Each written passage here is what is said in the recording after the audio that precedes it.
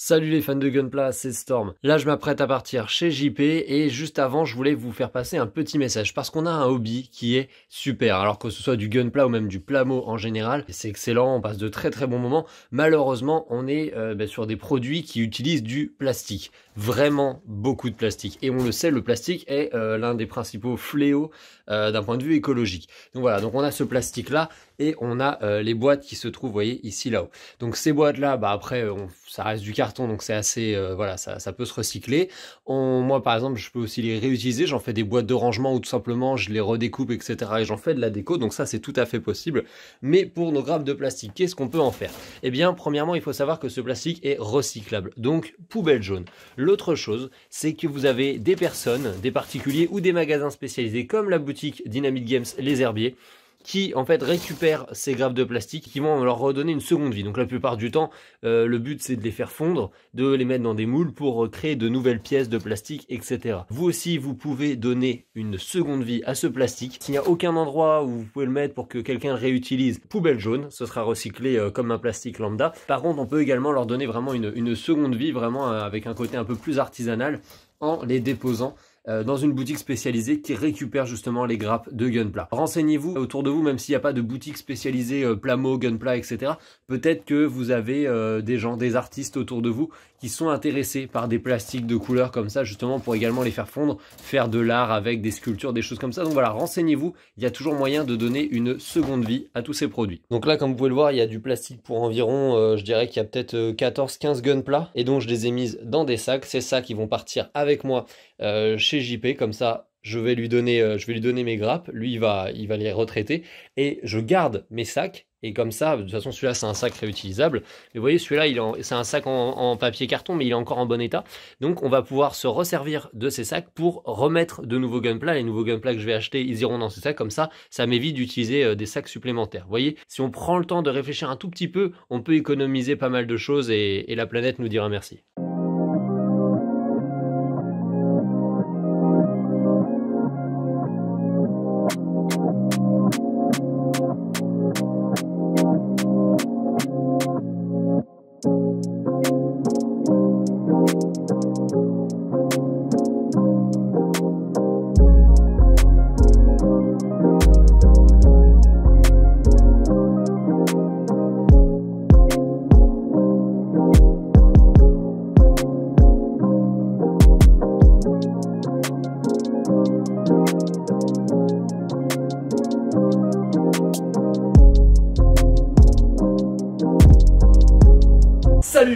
C'est Storm, on est actuellement à Dynamic Games Les Herbiers, donc bien sûr la fameuse boutique de JP, si vous nous suivez sur les lives Building Gunpla, vous connaissez ce personnage qui apparaît généralement quand on cite trois fois son nom dans le chat, tel un démon, il apparaît pour nous présenter eh ben, euh, les produits qu'il a en stock en magasin, également les super promos qu'il peut faire. Donc là on est dans son magasin, j'avais déjà fait une vidéo sur ce dernier, mais si j'y suis revenu, bien que j'y revienne régulièrement pour faire mes achats, aujourd'hui on est venu pour faire du Plamo Hunting. Alors pour rappel, le Plamo, qu'est-ce que c'est?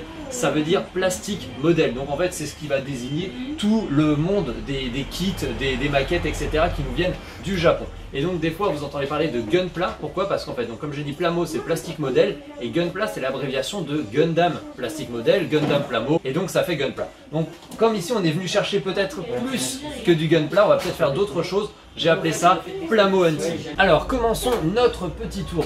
Euh, il y a pas mal de nouveautés chez JP. Euh, une des premières choses qu'on va constater, c'est l'arrivée des maquettes dites un peu plus classiques. Là, ils récupèrent des choses un petit peu plus traditionnelles pour les, bah, maquettistes qui sont pas forcément fans des trucs un peu trop japonais. Donc on va avoir de la station spatiale, va y avoir du tank, etc. Pour ceux aussi qui sont pas trop japon, mais qui aiment bien la science-fiction, la fantasy, il a récupéré une pièce. Profitez-en parce qu'elle part vraiment comme un petit pain. Il a récupéré le Millennium Falcon. Regardez, voilà, donc c'est en perfect grade, donc on est sur du très gros modèle.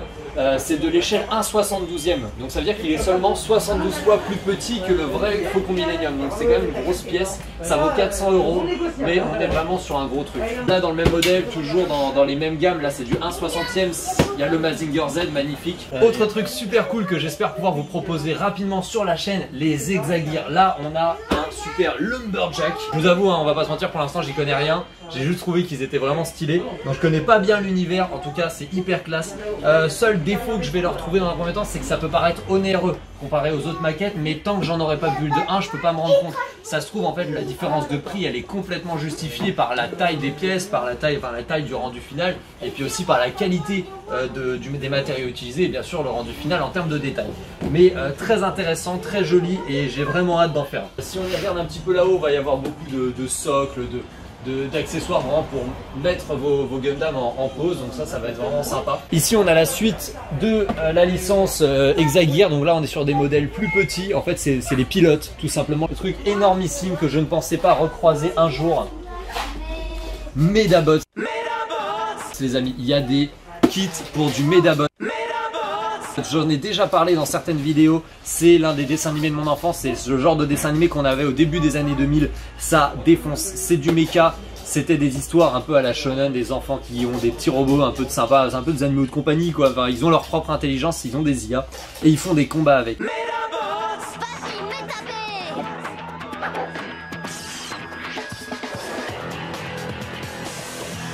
Et euh, il y a l'air d'avoir une super gamme. Pareil, c'est voilà en termes de prix là on est à 70 euros, donc euh, il va falloir que je vois la taille du produit, il va falloir que je vois les détails mais ça me hype bien. Donc euh, peut-être à mettre dans mon panier, je sais qu'il y avait quand même, je suis venu avec 2-3 attentes, mais ça bien sûr ça finira par être bulle d'un de ces quatre, en tout cas je l'espère. On continue sur des pièces plutôt pas mal. Ici on a un Sazabi en MG, ça c'est génial, j'adore, je suis fan de ce mecha. On a aussi le célèbre Yamato, voilà, ce, navire de guerre absolument génial. Bon gros vaisseau, très sympa. J'ai pas vu le tarif, 149 donc mine de rien c'est plutôt pas mal vu, vu la pièce, c'est un prix plutôt cool. Ça fait vraiment une belle pièce dans la collection. Oh sans déconner Ah ça c'est d'art alors ça, ça va surtout être bien pour vos figurines justement de type Naruto, Dragon Ball, etc. C'est, euh, je connaissais pas c'est en fait euh, donc une, base en fait hein, pour, pour, faire euh, pour mettre votre votre votre figurine enfin votre votre maquette en, pose notamment l'air en tout cas pour lui avoir lui donner une certaine tenue ce qui va permettre de garder de l'équilibre malgré des positions parfois euh, rocambolesques. Mais bah, comme vous pouvez le voir on est sur une base avec une sorte d'aura des éclairs etc dessus. Donc ça c'est plutôt propre euh, très très bien pour, euh, donc pour tout ce qui est Jedi, Naruto, Dragon Ball, euh, tout ça, One Piece aussi. Ça permet vraiment d'avoir d'avoir un petit plus à donner à vos figurines. par exemple, voilà, si vous montez un kit d'un Sasuke, ça peut très bien faire un super Shidori, donc, donc ça peut être très bien. Pour aller sur des gammes dont on n'a pas forcément l'habitude de parler, en tout cas on a moins le réflexe, parce que c'est vrai qu'on est très axé autour de, de Gundam, parce que c'est le classique, c'est la légende. Là, il y a du Transformers. C'est assez rare pour être souligné. Ça c'est pas mal, là on a un Optimus Prime pour ceux qui sont fans justement d'autres licences, hormis Gundam, etc. Il a l'air vraiment sympa. Donc là on est à 60, j'arrondis à 70 euros. Euh, voilà, ouais, le rendu on va vraiment l'avoir ici au dos. Ça ça peut être très sympa justement pour changer. Euh, c'est pas, pas du Bandai, c'est du Hasbro. Hein, c'est Hasbro qui a la licence sur Transformers. Les boîtes sont jolies, ça pourrait être intéressant de voir ce que ça peut donner. Moi perso j'aime beaucoup Transformers. Euh, je suis pas très très fan de ce que Michael Bay avait fait en termes de film. Je trouvais qu'il avait un peu trop dénaturé, euh, un peu trop dénaturé l'histoire, euh, l'histoire de base. Par contre en termes de jeux vidéo et donc bah moi j'ai surtout lu les, des comics de, de, Transformers. Mais même en termes de, jeux vidéo, même le dernier film Bumblebee était déjà beaucoup plus respectueux. Donc donc c'est pas mal du tout. Là qu'est-ce qu'on a ici? Thundercracker sympa, très sympa. Et bien sûr, le classique Bumblebee. En plus avec un accessoire euh, de vol visiblement, il a l'air d'avoir une sorte d'hélicoptère sur le dos. Donc voilà, très sympa et donc vous voyez on est, on est vraiment sur ce style un peu plus rétro euh, mais qui, euh, qui pour moi en fait est beaucoup plus adéquat à Transformers enfin en tout cas je suis pas mais je suis pas je trouve sympa ce que Michael Bay a fait en termes de design par contre quand il, quand il a refait les Transformers mais c'est vrai que c'est avec ces designs là que j'ai appris à les aimer à les découvrir donc, euh, donc pour moi c'est un vrai plaisir de les redécouvrir comme ça. Encore une autre licence que j'aime énormément parce que vous le savez je suis un fan de kaiju, de monstres euh, et de robots géants de toute façon. Euh, donc la gamme Pacific Rim, j'adore les films Pacific Rim et là du coup voilà on a les maquettes. Donc ici donc là c'est vraiment Pacific Rim Uprising donc le deuxième le deuxième volet. Ici on a le Gypsy Avengers et ici le Bracer Phoenix. Donc voilà, des modèles plutôt sympas, un à 40, l'autre à 30 euros. Je sais pas ce que ça vaut en matière, euh, de détails, mais, euh, mais ça peut être sympa. Ça peut être une belle alternative. C'est vrai que j'ai vu quelqu'un faire, euh, faire des, photos. Je crois que c'est le Gypsy Avenger qui avait été fait. Et, j'ai vu des photos, c'était pas mal. C'était pas mal du tout. Après, c'est sûr qu'en termes de teintes, ça nous change parce qu'on est sur des teintes moins colorées que sur Gundam. C'est pas quelque chose qui nous vient d'un manga, mais d'un film, donc on est sur un ton beaucoup plus réaliste avec des couleurs forcément un peu plus ternes. La réalité est toujours plus terne que les mangas. Bon, après, sinon, on va rentrer vraiment dans, la grosse grosse gamme. Après, voilà, il y, a des choses comme ça, des trucs un petit peu, un petit peu plus qui sortent de l'ordinaire, si vous voulez, en tout cas que je connais moins, donc je vais pas prendre, je vais pas trop vous en parler. Euh, après, voilà, avec Knight Rider, K2000, vachement sympa. Euh, il y a des trucs qui sortent un petit peu plus de l'ordinaire. Euh, en, toujours en hexaguirre. Celui-ci, un jour, il sera mien, les amis. Celui-ci, je veux le faire. Il est splendide, il est juste magnifique. Ça, c'est quelque chose, il me le faut dans ma collection. On a ces petites boîtes là aussi qui sont très sympas. Donc, on est sur des mechas plutôt style Super Sentai. Vous les achetez individuellement, vous les bullez, donc ça vous fait donc vos petits robots, mais vous pouvez après les réassembler comme dans les Super Sentai justement pour faire un, robot plus grand composé, euh, composé des différents robots. Donc, ça, c'est plutôt sympa. Là, les gammes euh, manga, on va appeler ça comme ça vraiment, les gammes shonen, donc Dragon Ball, One Piece, Naruto. Il y avait un petit peu de Evangelion, mais euh, mes amis qui m'accompagnent et donc Anna qui est actuellement derrière la caméra et aussi mon pote Maxime qui est derrière, ils se sont déjà bien servis sur des modèles de ce genre là, donc il y en a plus trop en rayon. Des trucs un petit peu plus originaux au-dessus et euh, du Gundam. Donc là c'est plutôt là-dessus quand même que je vais axer euh, mon, euh, mon plamo hunting aujourd'hui. Donc voilà, on va aller chercher des trucs. Alors, ah bah voilà. Déjà pour commencer, voilà, ce modèle. Donc comme vous le savez, je suis un gros fan d'Iron Blood Orphans. Et celui-ci, c'est le Marchosias. Donc un modèle qui vaut 30 euros. Euh, voilà, je vous montre un petit peu. De toute façon, vous aurez l'occasion de le revoir plus tard sur la chaîne.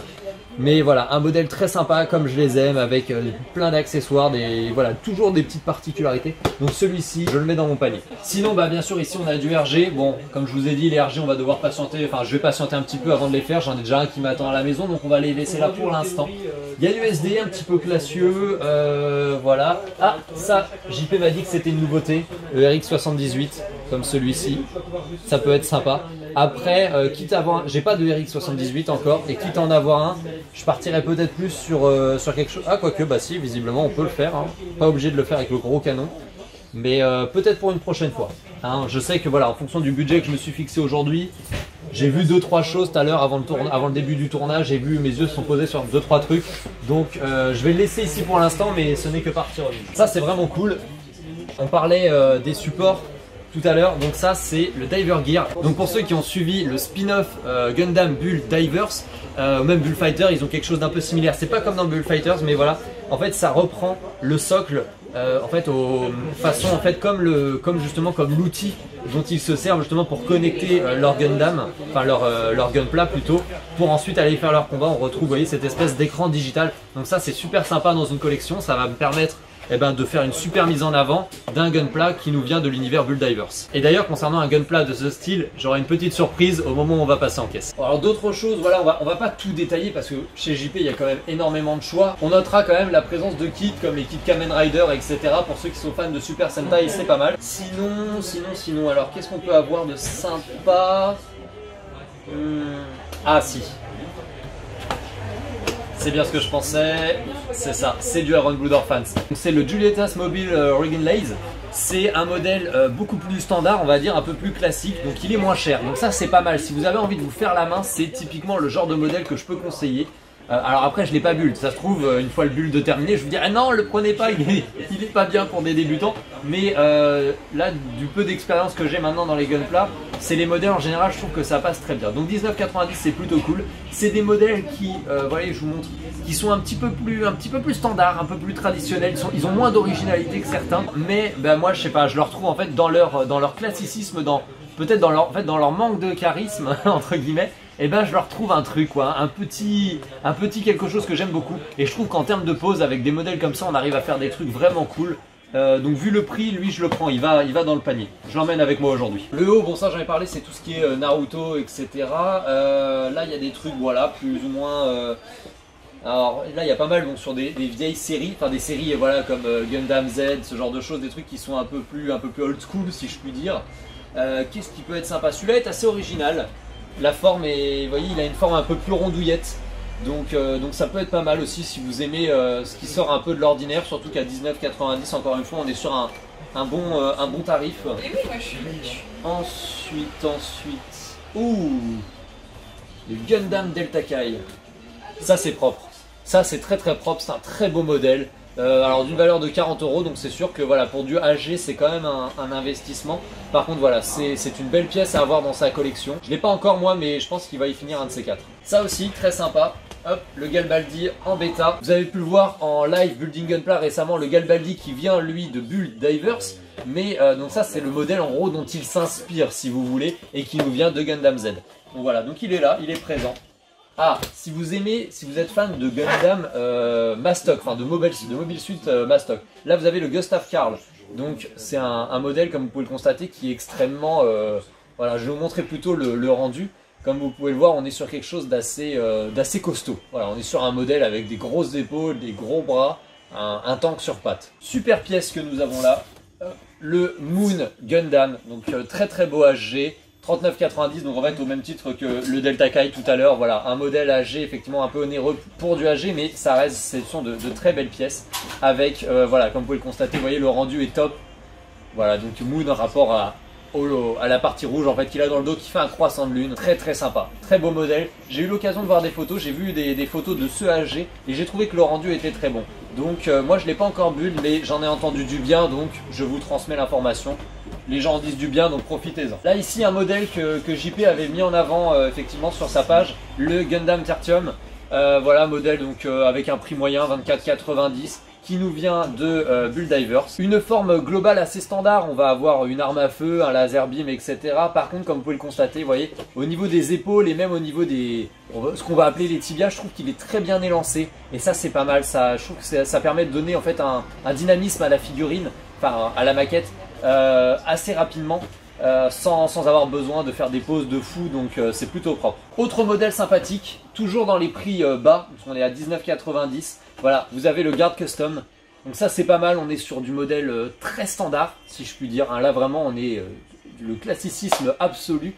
Mais c'est pas mal, je leur trouve un petit charme, voilà, le petit côté un peu, un peu unité d'intervention avec leur gros bouclier, c'est pas mal. Et en plus justement, comme vous avez une grande surface, si vous êtes amateur de custom, euh, comme vous avez une grande surface blanche et que bah, si vous, voulez, vous avez envie d'expérimenter, de mettre vos propres logos, etc. dessus, c'est pas mal. On peut partir là de base, il est bleu, mais si vous faites de la peinture, vous pouvez partir sur un modèle par exemple kaki qui rend très bien aussi. Donc là actuellement j'ai déjà trois kits dans mon panier, plus d'autres qui sont déjà en caisse parce que j'ai fait des réservations, mais on va en reparler après.